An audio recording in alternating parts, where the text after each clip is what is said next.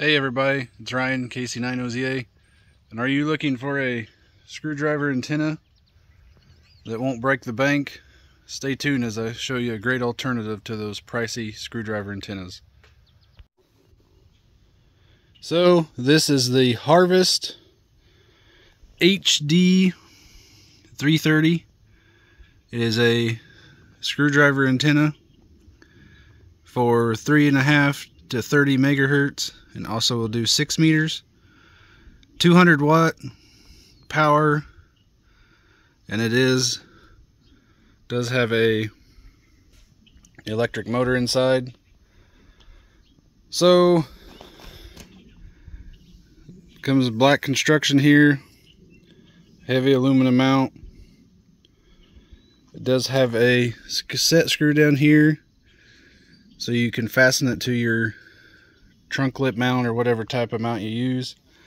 I actually went and took the set screw out, marked it, and I drilled a little divot onto my mount here so when the set screw goes in it can't be unscrewed so I don't have to worry about coming out of the store wherever I go my screwdriver antenna being gone. This antenna is around $200. It's both on eBay and Amazon. I purchased this one off of Amazon so that way if it didn't work I could return it. But what got me interested in this antenna is the HF radio I am using here in the car is the FT891. Great radios.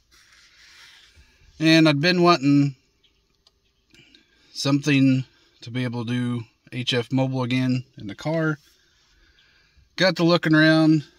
I was talking to some guys here on a repeater and they said, hey, this guy down at Evansville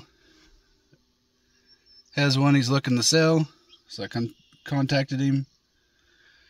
Ended up being a great ham. His name's Ray.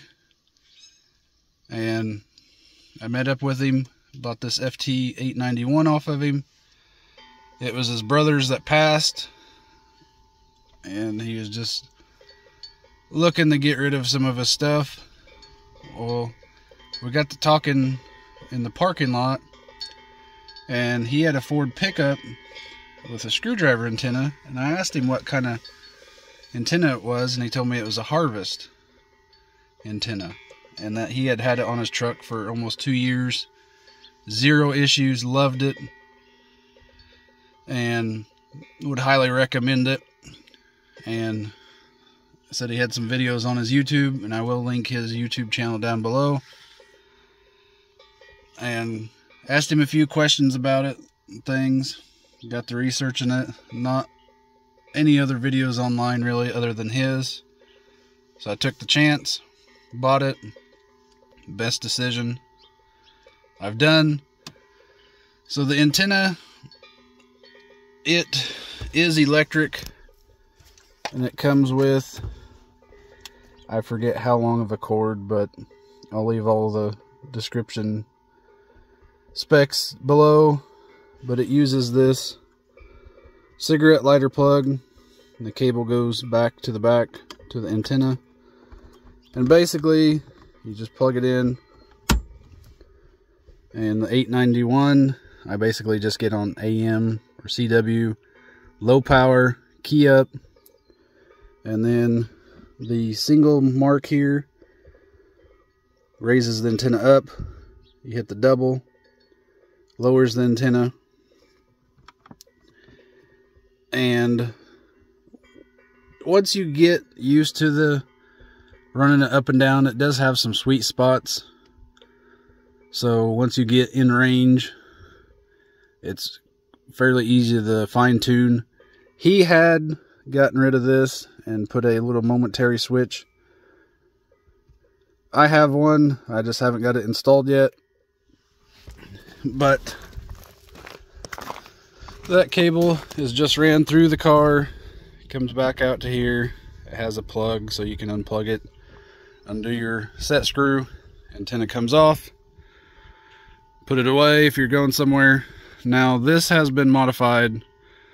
This antenna, and I'm sure this is what draws a lot of people off, but Ray said he had not had any issues with it. He actually had one of them on the antenna whenever I met up with him. But it comes with two sets of telescoping whips, and they just screw in here. And said he hadn't really had no issues going down the highway, anything like that. But he had showed me where he had made one of these. He has a little machine shop. And this is one of the telescoping bases that I have cut.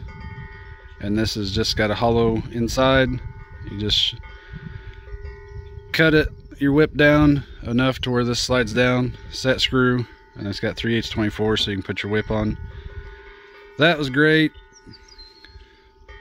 But I was kind of worried about this extra weight. And then Ray goes, hey, I think, because we talked and he said he couldn't, wasn't for sure what the thread was. Had went to several places trying to find the thread pitch. It was close to 3 8 24, but just a little off. He said he got it figured out. He sent me one of these. So it's short, actually screws directly into the antenna and then you just put your whip. I'm using a Wilson 62 and a half inch whip. I have seen a little better performance this over the telescoping whips and it's easy to unscrew just unscrew it but overall I'm very happy with this antenna I've not had any issues with it whatsoever um, like I said I had a few little hiccups, but they ended up being operator error uh, on my end because I thought the antenna was bad.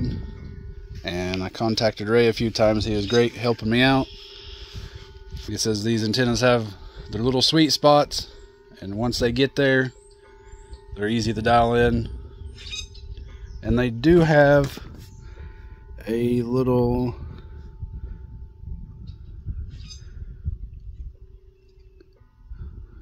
uh, measuring system here to show you that your antenna is moving up and down but unfortunately where this is placed on the car I can't see it but again usually I just key up CW 5 watts the 891 you can set up your AM or your CW power separately from your sideband power so I just swap over the CW, key down, run the antenna up or down, whichever band I want to do. I usually have it tuned within 15 seconds. This will run up and down fully within about 30 40 seconds, so doesn't take forever. I've been using it for almost two months now. I've made contacts in Australia, Italy, um, all around the U.S. I'm very, very happy with this antenna. I'm glad Ray recommended it. Again, I'll leave all his stuff down below. So, I'll go ahead and leave some audio clips of me making contacts with this and I'll just do a little b-roll of you seeing the antenna how it's mounted my grounding etc etc where I have the radios mounted. Just as a little b-roll with the audio. So this antenna again 200 bucks. Can't be beat. It's a copy of the diamond antenna which is a lot more money. I was trying to contemplate between this and the ATAS antenna. The ATAS, I know, hit the tune button, works its magic. Don't have to mess with it, but it's another 150, 180 bucks more. So I think I can key up, run the toggle switch up and down.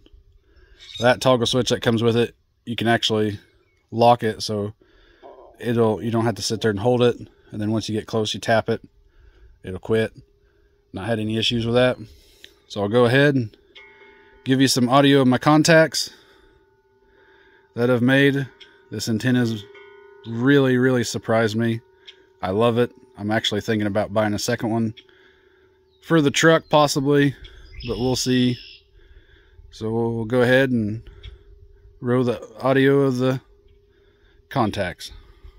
Kilo Charlie 9 Oscar Zulu Alpha Mobile. Kilo Charlie 9 Oscar Zulu Alpha got you about a 4x4 in Texas. I got you a 5-7 here in Southern Illinois. Roger 5-7 Illinois, thanks for having 73. QRZ, Kilo 8 Mike Romeo Delta, parks on the air. 9 OTA, Kilo Charlie 9 Oscar Zulu Alpha. Uh, I have you at about a 5 5 2 of 52 here for the parks this afternoon. Kilo 1012, yes sir? I you a 5555 here into the mobile.